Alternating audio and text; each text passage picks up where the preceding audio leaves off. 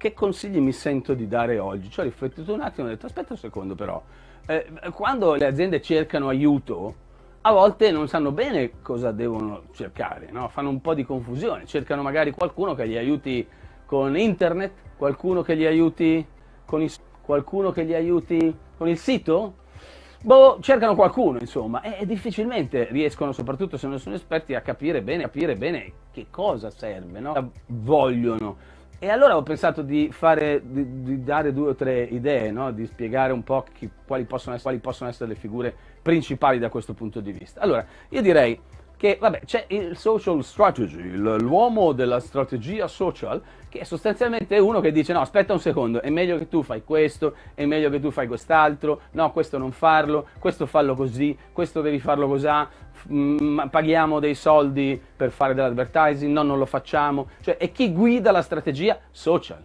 che non ha a che fare con chi invece si occupa per esempio del sito, ok? Faccio un esempio. Chi sviluppa il sito, cioè occupa di digitale, non è sempre uguale. Cioè, non è che arriva uno, è bravo e sa fare. Un mio amico è un genio. Cioè, non, voglio dire, non, non deve essere un genio, non puoi saper fare tutto. Puoi conoscere tante cose, ma poi a livello professionale, ad esempio, io non mi occupo di quegli aspetti, li conosco, ma non lo faccio di lavoro, ok? Perché devi seguire della.